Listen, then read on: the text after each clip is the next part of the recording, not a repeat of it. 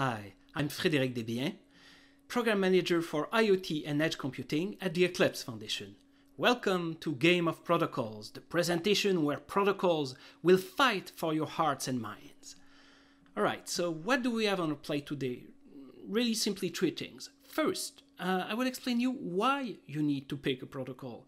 Uh, this seems trivial, but you know, some people think there's a one-size-fits-all approach in the market, and uh, I will just want to show that that's really not the case. Then uh, we'll review a few established players in the market, okay? So options that are mature, that you can use right away, and that are widely supported. And then uh, we'll have a glimpse at a few uh, emerging challengers. So protocols that are maybe a bit less mature, but show a great deal of promise for the future. All right, so let's get this show started. So why exactly do you need to choose? Um, you know, I think the best way to illustrate this is with quotes from real developers, real people that I met at conferences or that in, I interacted with over the internet. Um, you know, one common thing that I will see is, well, I don't need to choose. You know, with you know EdgeX Foundry or with whatever product you want to put in there. Okay, fill the blank. Uh, you know that product has multi-protocol support, so I don't need to choose one. And okay, yes, maybe at the technical level it's true, but the problem with that approach is that, you know, um, then you don't take into account the specific use case you're having. You're just, you know, picking random software stacks and, and parts even for your project, and you're not getting the best fit for your specific use case. Then the second option would be something along the lines of, oh, REST is simple, you know, I can do everything with it, it's widely supported, so why would I need anything else? Yeah, but the problem is that, yes, REST is widely supported, but it's not necessarily tailored for the world of edge computing or even IoT. You know, uh, if you have a tiny, tiny MCU and you need to make the battery last for five, uh, five years or more, then uh, it's probably not the best option, even if it's simple to use and widespread, uh, you know, in its uh, in its adoption. And finally, uh, another thing that I heard a lot is, well, plain TCP is good enough for me. Uh, you know, I can work with that. It's you know, it's literally everywhere, and uh, you know, I can I can use straight UDP maybe if TCP is not is a no go for my project. And okay. if you want to go that route, it's uh, it's up to you. But the, the, the, problem with that approach is that essentially, um, you know, you're operating at a very low level, and it this has consequences. So the reason why you need the right protocol for the right job is really about three things.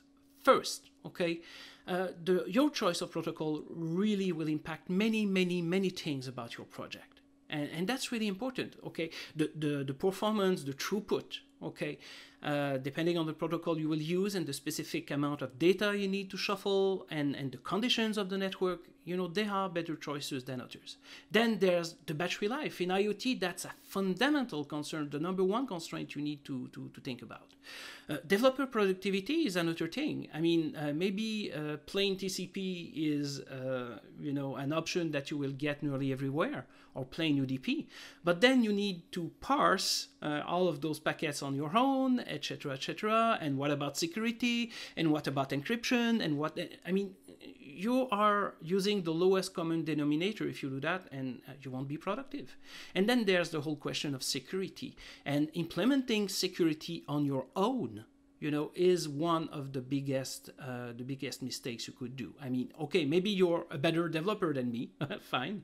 But um, you know writing security code is really really something that not everyone can do. So why not use you know mature uh, solutions that will integrate it for you Okay, then uh, when we think about REST, uh, the thing is, uh, as I mentioned, HTTP as a protocol, it's fine, and REST as an approach is fine, but it's lacking many of the features that you will see uh, IoT specific protocols uh, got.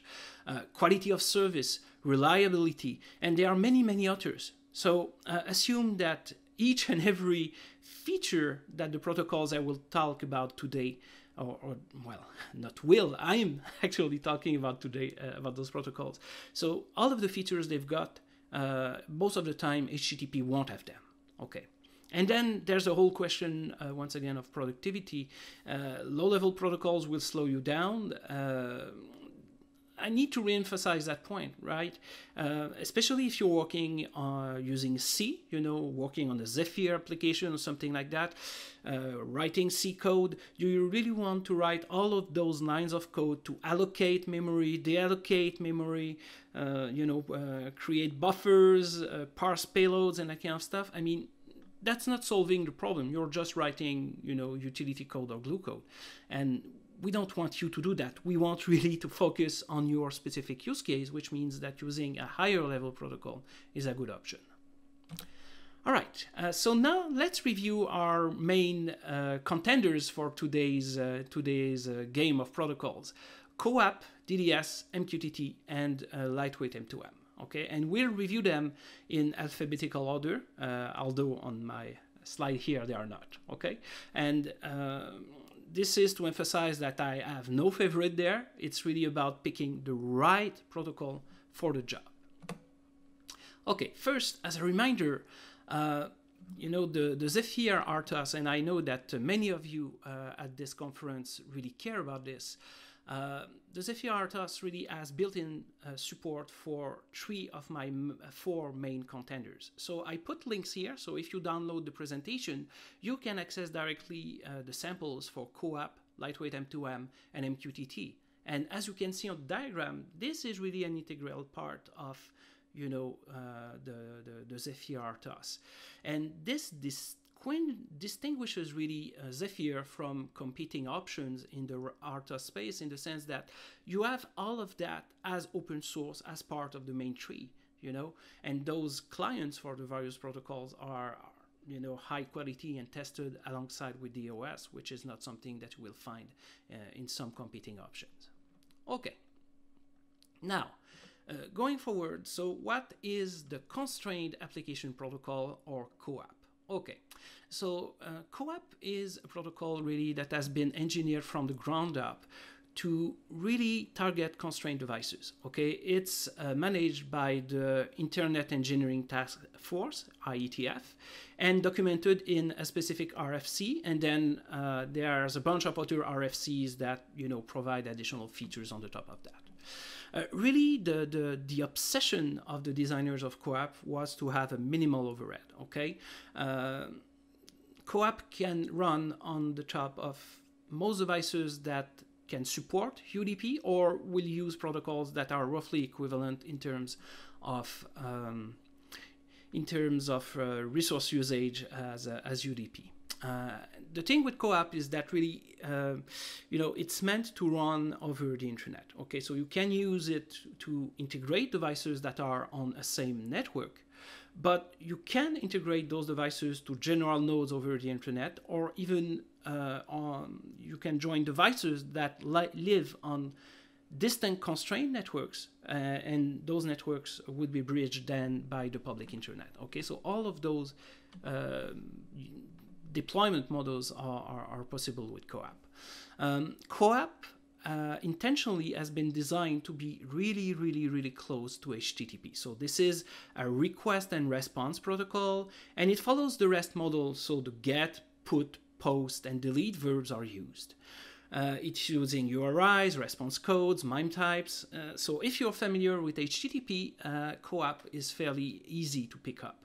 And one thing that has been adjusted is its strong support for CoAP for multicast, because uh, more often than not, you will you will want you know to broadcast a bunch of data to a number of nodes. All right, so. Um, at a deeper level, what are CoAP's features? Um, first, everything that CoAP does is asynchronous. Okay, so it's really you you send message and you know execution continues right away. Uh, low overhead because it's on the top of UDP is another big concern, and and even I mean in the design of the protocol, the headers will uh, typically be about uh, four byte long only. Okay, so that's fairly compact when you compare to many other protocols that are used in the data center. Uh, all of the payloads and you know uh, the, the, the, messages themselves are really simple to parse because they are exactly um, they are exactly replicating what you will find in HTTP.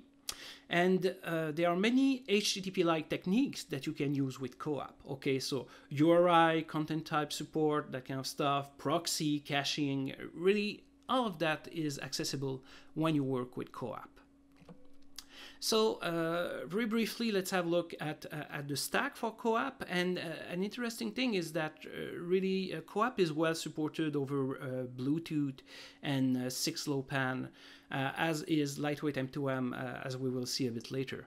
Uh, and, and, the fact is CoAP, in its approach, is is also relying on UDP and something called DTLS, which is uh, you can see it as a specialized version of TLS uh, to go along uh, along with it, but it's a bit it's a bit simpler and uh, a bit a bit uh, lighter on resources. Anyway, so essentially the whole point of CoAP, as you can see in the stack, is really to send messages over this request and response um, pattern. All right. Um, if you have to pick a CoAP stack, obviously on device, if you work with Zephyr, you have built-in support, and there are many uh, small, uh, small, um, small libraries written in C that you can leverage for that. But on the server side, especially if you need to write a fairly ambitious um, application that leverages CoAP, the most popular option, uh, at least in my perspective, that's uh, currently in the market is Eclipse Californium. And Eclipse Californium really has a whole bunch of additional features over you know simple CoAP implementations that you will find uh, elsewhere. For example, it implements observe and notify. So by default, CoAP is request and response, but you can make it, uh, you know, you can use it in a kind of publish and subscribe model by using the observe and notify features of CoAP. Uh, it, uh, Californium also supports uh, blockwise transfers. It implements the latest version of DTLS and has even experimental implementations for CoAP over TCP. So, you know, if you are um, if you want to benefit of some of the advantages of TCP, then uh, you will be able to leverage them. And uh, there's something called o OS Core, so uh, a, a, kind of security model for RESTful environments and CoAP uh, as experimental support for that standard as well. Also, CoAP will enable you to bridge uh, CoAP and HTTP uh, uh, connections through cross proxies. And it comes, uh, in the case of Californium, with a scalable web resource framework, and you even have a kind of runtime container for JavaScript mashups. And uh, you can leverage an OSGI wrapper if you are working, you know, on, on a managed server that will support that. So uh, it really Californium is a very mature project that we've got at the Eclipse Foundation. It's certainly uh, well maintained and has tons of adopters in the market. And uh, I invite you to have a look if you are interested in working with uh, CoAP. And, and Californium is both a client and a server implementation. So if uh, you need to uh, access to CoAP resources from a Java application, then you can also uh, leverage Californium. Okay, uh, our next contender now for your hearts and minds is Data Distribution Service or DDS. Okay. Uh, DDS is a different animal than from CoAP. Really, uh, it's a publish and subscribe protocol optimized for machine to machine communication. And it's really focused on uh, the decoupling of applications. Okay. So, the really fun thing about uh, DDS is that any node can be a publisher, subscriber, or both simultaneously. And the reason why is that is that there's no central broker or anything like that in DDS. Okay, so there's just you know DDS is a fabric or mesh, and you know the nodes communicate with each other, uh, you know, over that mesh. Uh, DDS is already widely adopted in specific verticals. You see it a lot in aerospace, defense, air traffic control, robotics. And uh, DDS is a specification of the DDS Foundation, which is one of the foundations uh, that are related to the Object Management Group, or OMG. And OMG, they are the godfathers of UML and many other interesting technologies, uh, if you are less uh, familiar with them. So there's a formal spec for DDS, and you can uh, certify your, uh, your projects and products against it. Okay, so what are the main features of DDS? Uh, DDS at its core has this concept of a data space, okay, that will enable you to decouple okay applications from one another so this decoupling is spatial so the nodes can be on any network anywhere and temporal in the sense that the communication is not happening necessarily in real time uh, as I mentioned, DDS is completely decentralized, which means that there's no single point of failure. So maybe that's an interesting feature for your use case. And uh, DDS supports quality of service policies, okay? And those policies, they express specific constraints about the temporal and uh, and the about the time and avail availability of the data, okay? And that's really uh, really something nice about it. Uh, on the top of that, uh, DDS has mechanisms for uh, built-in dynamic discovery. Okay, so essentially, uh, out of the box, DDS nodes can discover other nodes uh, around them and uh, establish communication with them. So this is our um, protocol stack for DDS. And in this case, there's an interesting distinction. DDS can run over out of the box TCP or UDP, and it has a kind of wire protocol for interoperabil interoperability. uh, that's quite a mouthful. So DDSI RTPS is the wire protocol for interoperability. And then on the top of that, uh, you have DCPS, which is literally the publish subscribe model of, uh, of DDS. So those two things are, uh, you know, documented and, and um, there are uh, distinct uh, specifications around them. Okay. Now, if you want an implementation of DDS, uh, one of the leading ones is certainly Eclipse Cyclone DDS. So this is a pure C implementation of the protocol, and it's got really a tiny, tiny set of uh, runtime dependencies. So uh, typically it will compile very well in a variety of environments. It's really compact, so it will fit, you know, if you strip a few features in as little as about half of me megabyte of memory, you know, at runtime. And out of the box, it supports multiple platforms and uh, it's uh, well it's tested over linux mac os and windows but then uh, many people have run it in a variety of environments. Um, the great thing about cyclone dds is that it's now a tier one uh, middleware in the ROS2 operating system, so the robot operating system, very popular as the name suggests in uh, robotics, as uh, Cyclone DDS as a first uh, first class citizen there. So uh, it's certainly an interesting uh, option if you are invested in that particular ecosystem. Okay, uh, continuing now with contender number three, lightweight M2M. So what is it exactly? So in this case, lightweight M2M has really a tight focus on lightweight and low power devices okay? And uh, lightweight m2m requires coap so it runs on the top of coap but as you will see it brings a whole lot of value added features on the top of it okay? Um, one interesting twist of lightweight m2m is that it defines an extensible resource and data model. Okay, so you can really out of the box uh, work with what's there, but you can extend it in a standard way so that even if, um, you know, uh, let's say you, you produce a device and it supports lightweight M2M and people don't necessarily have uh, the documentation for that or they are not necessarily familiar with the, the, the, the specific resources and, and, data that you are exposing, then there are uh, standard ways to discover that using lightweight M2M and then to leverage that. So um, this extensibility makes it really attractive. Um, the specification for lightweight M2M is owned by a, a nonprofit called OMA uh, SpecWorks, and you've got the link to their website on the slide.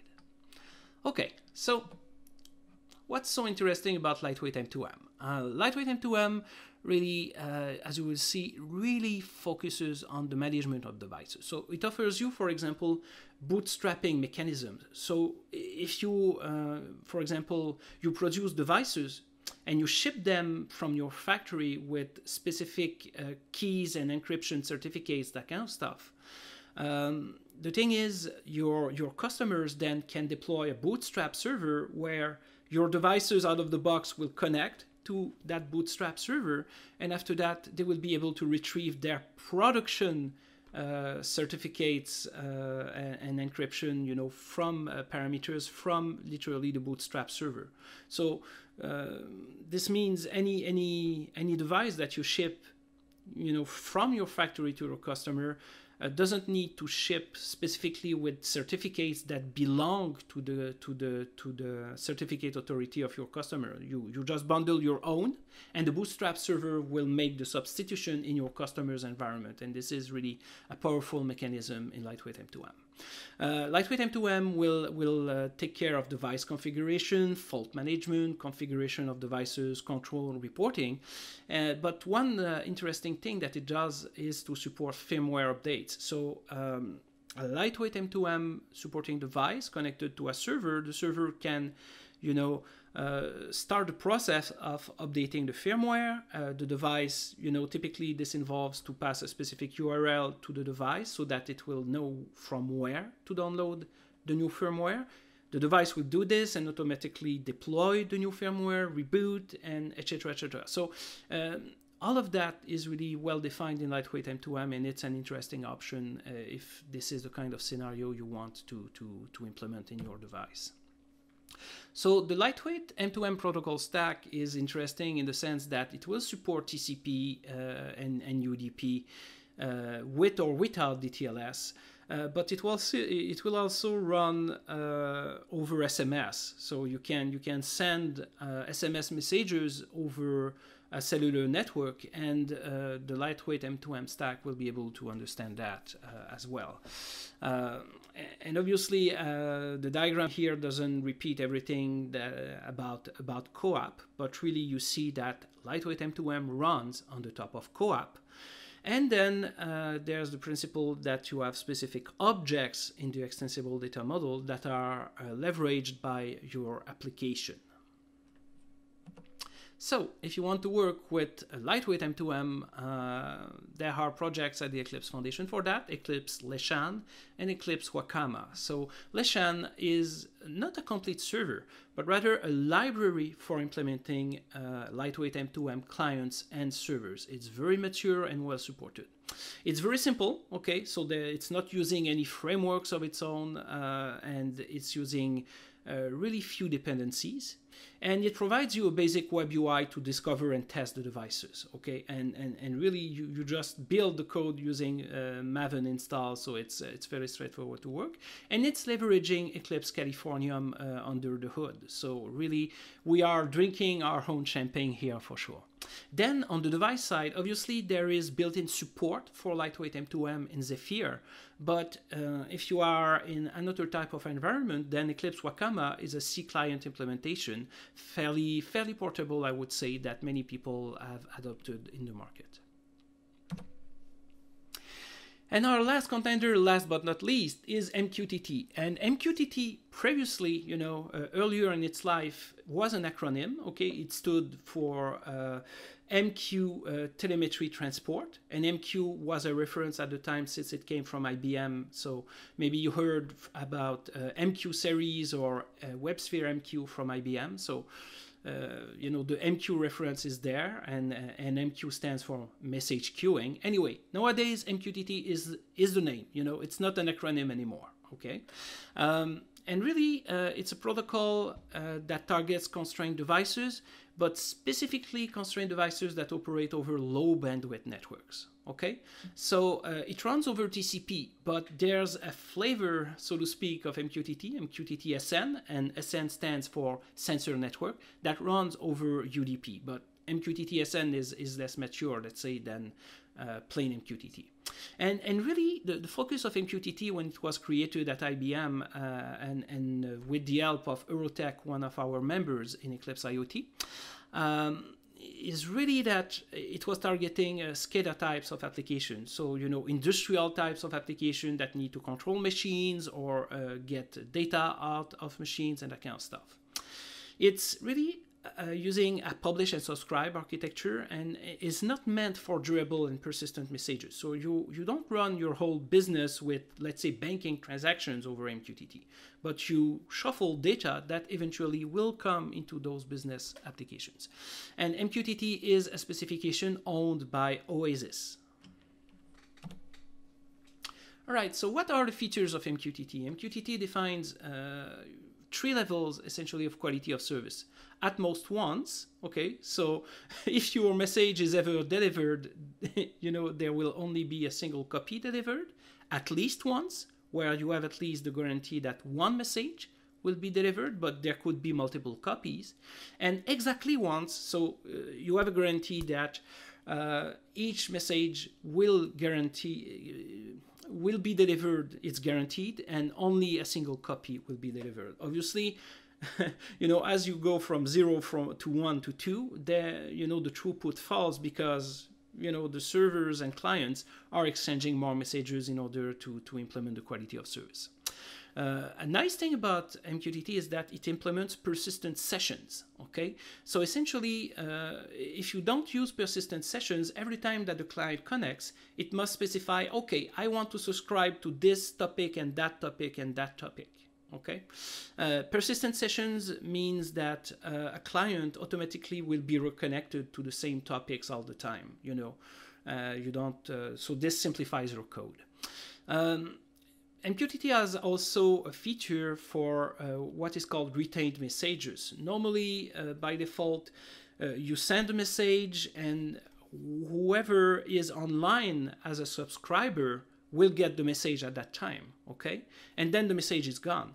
But uh, MQTT has a feature where essentially the last message sent on a topic will be retained so that if there were clients that were offline, okay, subscribers that were offline, they will get that message, you know, first thing when they will establish their connection.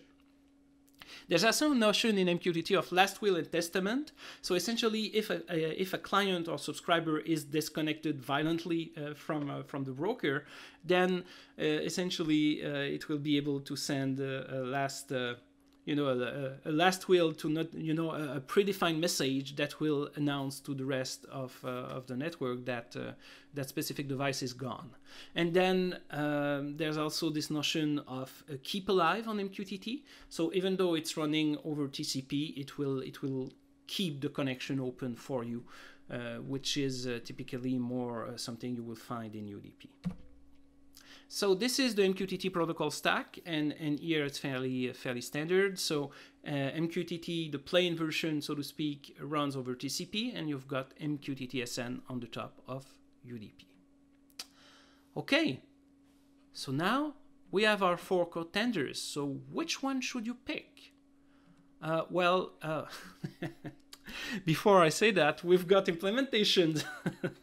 I, got ahead about uh, of myself there. So we've got implementations for MQTT obviously at the Eclipse Foundation. Eclipse PAHO is a collection of MQTT clients in several languages and they target multiple platforms, okay? Uh, and they have, you know, all of those clients have a wide uh, assortment of features, uh, automatic reconnect, offline buffering, etc., etc., even high availability in some of them, okay? And they can be uh, either blocking or non-blocking in, in some cases. So depending on your style of programming and the environment that you are targeting, uh, this is certainly a strength. And then uh, we've got the very popular Mosquitto Broker. It's part already of most uh, Linux distributions. And uh, Mosquitto is written in C and uh, is, is certainly a very popular option as far as MQTT brokers are concerned. Okay, now before we get to the choice, I must also cover very briefly a few emerging challengers, and here we will cover specifically Sparkplug and Zenoh. So one of the great things about MQTT is that it doesn't say anything about the payloads. So it's fantastic because you've got flexibility. Um, one of the bad things about MQTT is that it doesn't say anything about the payloads. So you have, when you deploy an MQTT compatible solution, let's say uh, you buy robots from uh, from one pro- supplier, and then you buy a software stack from another, and then a third uh, another machine from a third supplier. They all speak MQTT but you will need at a minimum to configure them, you know, to point them to the right topic, or to parse the payloads, or to to to massage the payloads in a specific format, etc., etc. And all of that is error prone. It's time consuming. It's frustrating. So. Um, a few bright people at uh, Cirrus Link and Inductive Automation, two Eclipse members, uh, came together and uh, with other uh, community members to start what we call the Eclipse Sparkplug Working Group. So Sparkplug is both a specification at the Eclipse Foundation and uh, uh, there's also an implementation in the Eclipse Tahu project. So what Sparkplug is about, it's, it's essentially about three things. First, it defines standard payloads, okay, standard payloads uh, on the top of MQTT. Then uh, it defines standard topic structures, and finally stateful session management. And all of that, okay, make it possible out of the box, okay. When you have devices that support Sparkplug, they will be able to speak to each other out of the box without, uh, well, with a minimum of configuration. And, and this is really a game changer.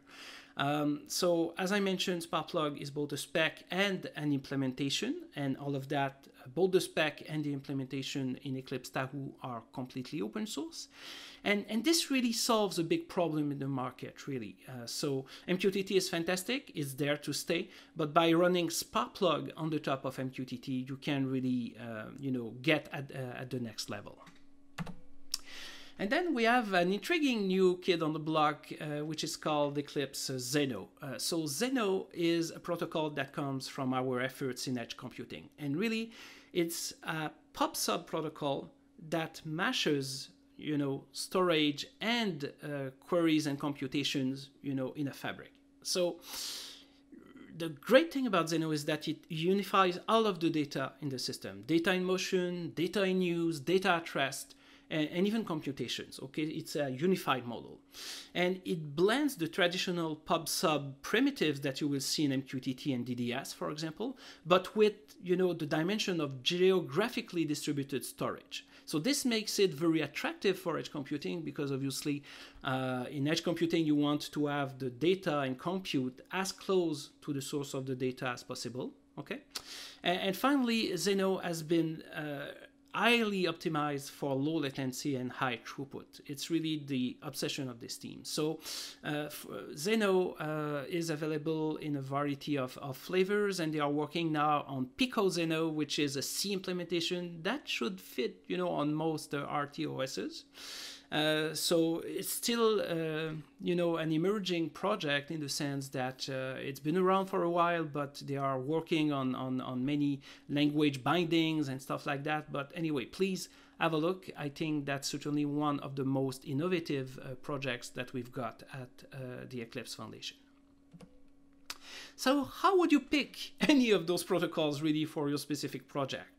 and they're really there are three major things. There are many other things, but really, if if I want to boil this down to the fundamentals, you see them on this slide. Okay. So first, there's your use case. Eh, are you collecting data or controlling devices? That's really the fundamental question. If you are collecting data, uh, then probably a publish and subscribe protocol is the best. But then if you are controlling device, maybe a, a request response protocol could be used. But then, you know, there are many, many other considerations there. And uh, you sometimes maybe you will choose to use more than a single protocol in order to optimize uh, optimize the solution okay then uh, you need to think about your constraints really in picking so your bandwidth your battery the compute power of whatever MCU you are using. You know, what are your constraints? Because some of those protocols will require a bit more resources than others. Some of them run just over TCP for the time being, so that's a bit more resource intensive since you need to maintain the connection, etc., etc. So there are many, many things to consider there, but you need to be aware of your constraints to make uh, the pick correctly. And finally, there's the whole dimension of support Does it support the hardware, the OS that you have? Can you procure sensors and devices in the market that already supports it? And then your time to market for your uh, wider solution is, uh, is, uh, is faster. And that's, that's really an important dimension.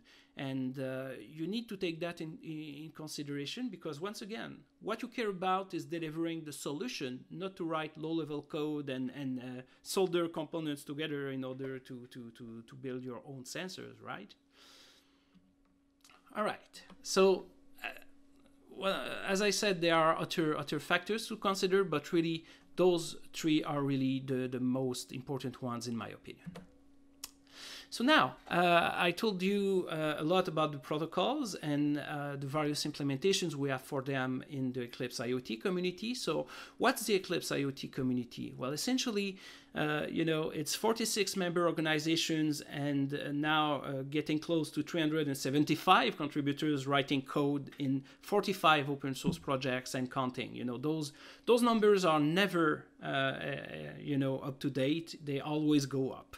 and overall, when you consider all the projects we've got, that's roughly 8 million lines of code uh, that you can leverage in order to deliver solutions. This is our memberships. So we have three strategic members, Bosch, Eurotech, and Red Hat. So those are the ones setting the vision for our working group and, um, you know, uh, really uh, leading the others. But as you can see, we've got many, many uh, members there, and a shout out to the Linux Foundation. Linux Foundation is a member of Eclipse IoT since um, essentially we are working together on promoting uh, the Zephyr real-time operating system and trying to make sure that our components work well on Zephyr and at the same time that our members are aware of what Zephyr has to offer in the in the embedded space. And obviously uh, Linux is another big environment uh, for us as well. So that's another place where we we work together uh, certainly.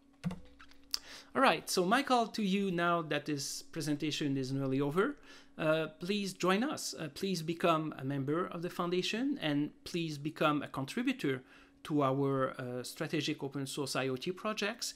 Uh, you can contribute to any of the projects I described today uh, right now. You can submit PRs, and if you submit enough of them and they are high quality enough, you can become a contributor even without being an Eclipse member. But we would pretty much uh, enjoy your support uh, if your organization can join the foundation.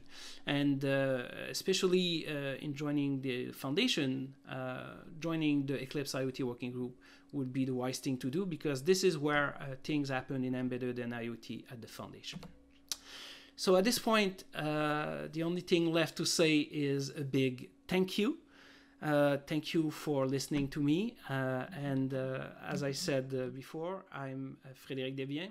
Program Manager for IoT and Edge Computing at the Eclipse Foundation. And uh, you can reach me on Twitter as Blueberry Coder, and please visit our website at iot.eclipse.org. Thank you.